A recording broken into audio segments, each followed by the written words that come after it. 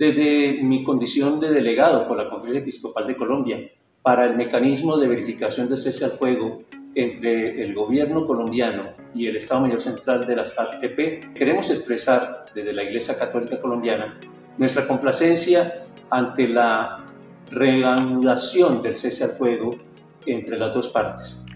Valoramos, por ejemplo, el hecho de que sea una reanudación con una extensión de tiempo prudencial. Seis meses es un tiempo adecuado.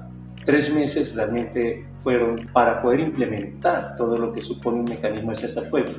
Y más de seis meses pues podrían generar también eh, el incremento de ciertas conductas que, que podrían no ser evaluadas adecuadamente. ¿Y por qué es importante que se haya restaurado el cese al fuego? Radica, primero que todo, en lo que ha dicho el ministro de Defensa en los días anteriores. El cese al fuego debería considerarse en torno a la razón fundamental en la superación del conflicto armado y es aliviar y eliminar gradualmente todos los efectos negativos de lo que es una confrontación o de conflicto interno armado en un país como Colombia. El primer beneficiado de los ceses al fuego debe ser la población y así esperamos que lo siga siendo. Y esto se va a ver reflejado y se ha visto reflejado de diversas maneras. Por ejemplo, el cese al fuego permite el desescalamiento del conflicto, que los actores del conflicto, cuando están activos en el conflicto armado, pierden la posibilidad de dedicar sus energías al desarrollo de las comunidades.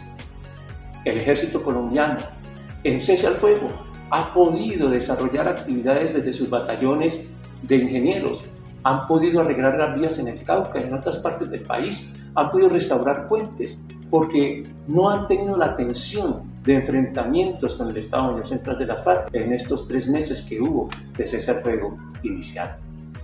A su vez, las comunidades, al no sentirse asediadas por el temor de conflictos armados han podido desarrollar obras como recuperación de escuelas, tareas de juntas de acción comunal, tareas en torno al mejoramiento de sus propias huertas y de sus capacidades productivas.